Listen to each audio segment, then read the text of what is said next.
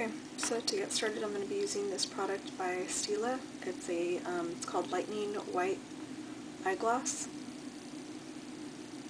And so I'm just going to take some of that on my ring finger and just, and I don't have any um, primer on the lid. It's really not necessary. Um, you probably won't be able to find this product um, because I've had this for quite a while but Jesse's Girl does sell a white um, cream shadow. Um, you can get that at Rite Aid and they cost about, I think, 3 or $4, the most $5. So you're just going to spread that all over the lid, like that, and you want to bring it out just a little bit.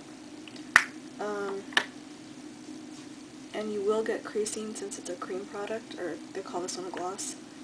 Um, so if you don't like that, you should definitely um, set the entire area.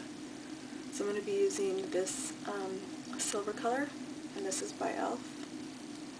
I'm just going to pick a little bit of that up on my ring finger, because I'm not going to put it all over the lid. I'm just going to put it, concentrate it right in the center here.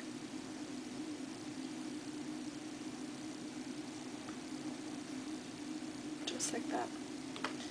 Okay, now taking a piece of tape and you want it to stay sticky, so do not put it on the back of your hand first.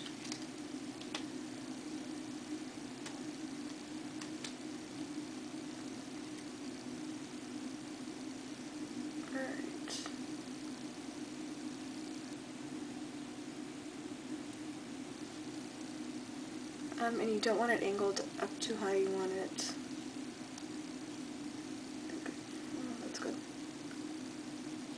Um, and then press down really firmly because I'm going to be using, well, if you're using the same products, I'm going to be using a um, liquid liner and I don't want it to seep underneath. So that was the other reason for not putting it on the back of my hand first, to get some of the stickiness off. Um, but if you've already done your foundation, then you will need to touch up your foundation in that area, because it will pick it up. Alright. Um, so now coming in to where about your iris ends, to draw a line.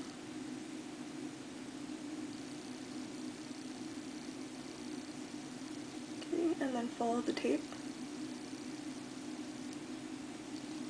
Just like that. And you don't want to go up too far um, where the crease is right here. That's where you want to stop. So once you get to that point, you want to draw the line up. Okay. You're going to stop.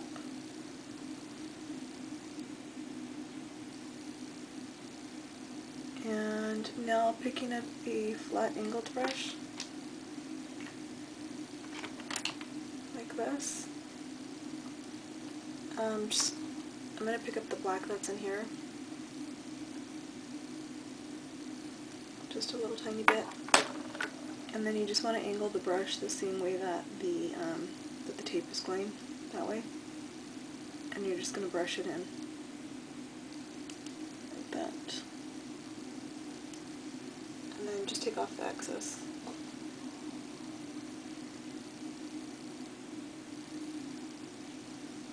Alright, and then just continue to line up just a little bit. Just using whatever's left on the brush after you've you've taken it off, or after you've um, dusted it off a little bit. And you're not going to go up too far. Don't go up further than um, where you started. So right there, where the iris um, ends. Alright, and then you take the tape off. So obviously it doesn't look quite like the other eye just yet. Um, in case you want to pick up just a little bit more of the black eyeshadow and just get very close to the lash line.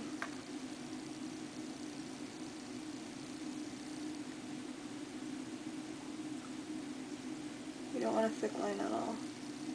Okay? Alright, so now taking um, the concealer brush, to pick up a little bit of concealer so I'm just going to use the one that I usually use um, underneath, but it doesn't really matter. You can use one that's the same color. Alright. So you're going to take that right underneath the line and you're just going to clean it up. But at the same time, you're going to end up dragging some of the product. So I don't that's showing up. Hopefully it's showing up on the camera.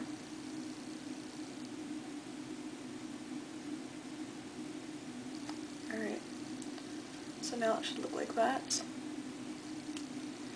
And now, let's see, I'm going to go back with the um, flat angled brush. Okay, and then you want it angled that way again. And actually no, turn it the other way.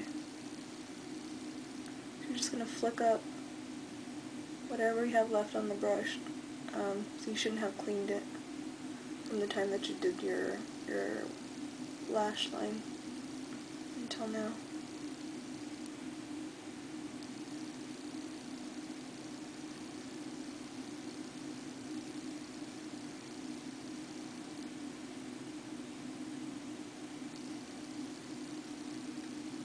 Alright, I'm just going to extend this one a little bit more. So that they match. Okay. Alright. So now I'm going to put on my concealer under, underneath and I will be right back.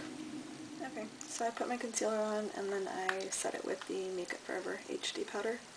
So now I'm going to move on to the cheeks and the um, lips because I don't want to run out of time. So on the cheeks, I'm using um, Her Blooming Cheek from MAC, which is just a bright hot pink. Um, it is out in the collection right now, or the um, Tartan collection.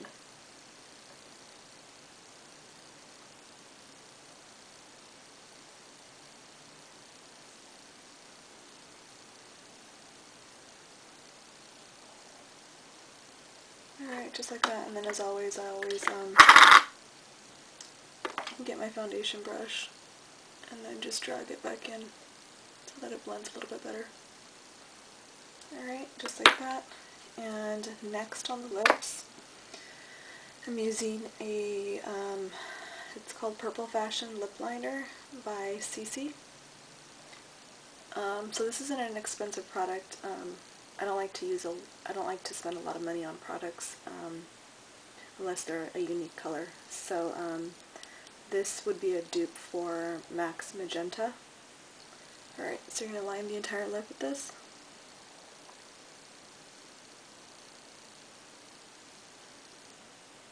Um, and fill it in. So I'm going to do that and I'll be okay. right back. So what I did is I lined my lips and then um, instead of filling it in completely, what, is it, what I did is I took a lip brush. Actually this isn't a lip brush, um, I use it as a lip brush. It's the e.l.f. Um, concealer brush. That's the perfect shape um, to use as a lip brush. So I took that and I just dragged the color in towards the inner part of the lip area. Okay, so now I'm actually going to clean off that brush. Um,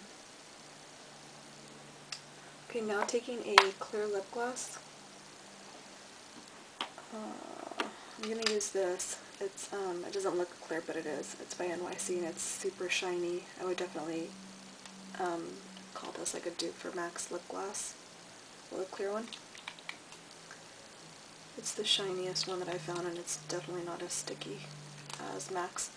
So I just put that on the back of my hand because um, I don't really want it to get um, change color too much more. So I'm going to pick up that lip brush and then you don't um, want to get too close to the edge um, so you don't want it to bleed.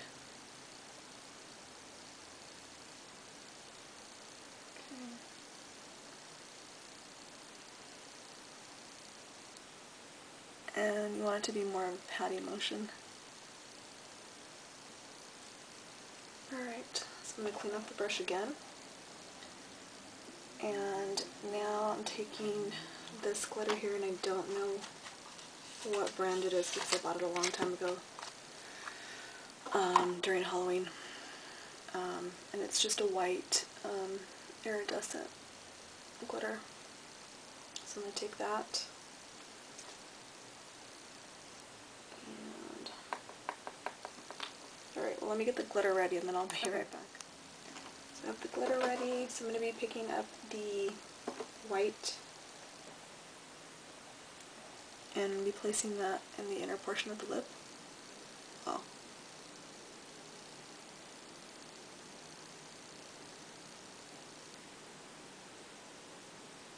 Going to be a bit lighter here.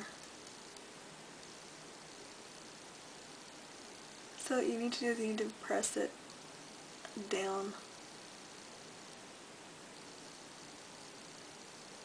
and you need to make sure that you do use the gloss because um, you can't put gloss on after.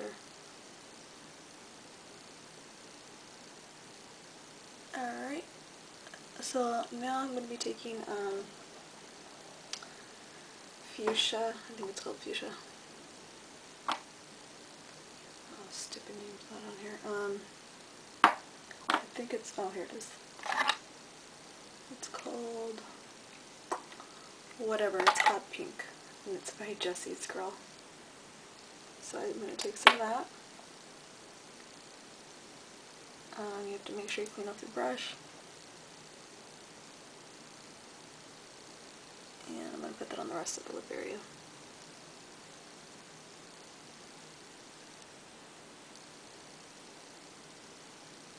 Um, if you can find a lighter pink, that would look nice too. Um, this is the only pink that I could find though.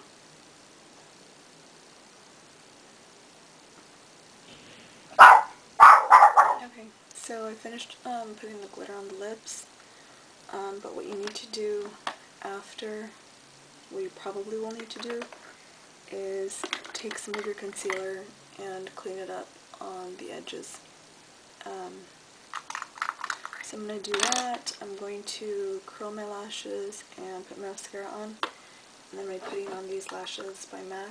And these are uh, number 45s. You can get some from um, Ardell. I think they're just called Wispies. So something like that. And it kind of goes along with the little flick that's right here. So I will do that and I'll be back with the finished look. Okay. So here's the finished look um, with the eyelash on. A little wispy, whatever you want to call it. Um, one thing I did want to mention is um, the glitter is not going to last all night long on your lips, so you will need to take your gloss with you and um, your glitter, whatever kind of glitter that you're using, and then, um, you know, try to make sure that you drink through a straw instead of, because the whole thing is just going to come off, including the lipstick will come off with it. Um, that's why I didn't really put the lipstick right in the center. Alright, so let me know if you have any questions.